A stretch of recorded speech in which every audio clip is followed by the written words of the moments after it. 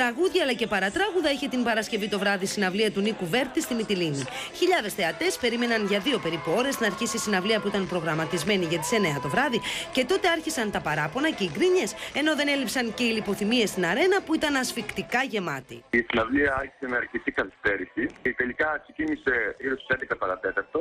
Ο Βέρτης εμφανίστηκε γύρω στις 11 και 10.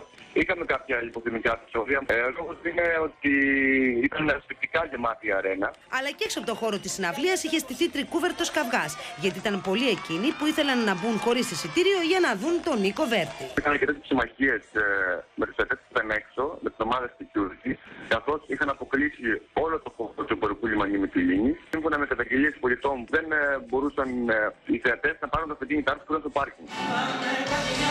Όλοι μιλούσαν για ένα σκηνικό με υψηλές προδιαγραφές και υψηλό κόστος παραγωγής σε περίοδο κρίσης. Στην αποκλειστική του συνέντευξη στο Στάρ, ο Νίκος Βέρτης υποστηρίζει ότι ο ίδιος και οι συνεργάτες του έχουν βάλει και από τη τσέπη τους για αυτή την παραγωγή, που στόχο δεν έχει να προκαλέσει, αλλά να ψυχαγωγήσει τον κόσμο σε περίοδο κρίσης. Σήμερα το κάθε ευρώ ο κόσμος υπολογίζει. Να πω ένα μεγάλο ευχαριστώ στον κόσμο για όλα αυτά τα χρόνια που με στήριζε και θέτω σε αυτή τη δύσκολη εποχή να προσπαθήσω να του δώσω μια έτσι γεύση αισιοδοξίας. Με ένα χαμηλό αντίτιμο ουσιαστικά σε σύγκριση με αυτό που βλέπει και ακούει, γιατί είναι μια πολύ μεγάλη παραγωγή.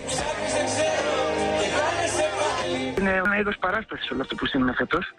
Και επειδή για πρώτη φορά βγήκα σε περιοδία, δεν ήθελα να κάνω κάτι που να έχει στόχο απλά μια βραδιά έτσι μουσικής, ήθελα να είναι μια γιορτή. Όπως λέει ο ίδιος, έχει κάνει περικοπές στο νυχτοκάματο πολύ πριν την περίοδο κρίσης. Και σε κάθε του εμφάνιση φροντίζει οι τιμές να είναι προσιτές και να μην ξεπερνάνε τα όρια. Ξεκινώντας την καριέρα μου, ποτέ δεν είχα στόχο να πάρω λεφτά. Εγώ ευτυχώς τα τελευταία πέντε χρόνια τουλάχιστον αποφάσισα να μειώσω αρκετά τα χρήματά μου και να δουλεύω πριν από την κρίση σε μεροκάματο κρίσης.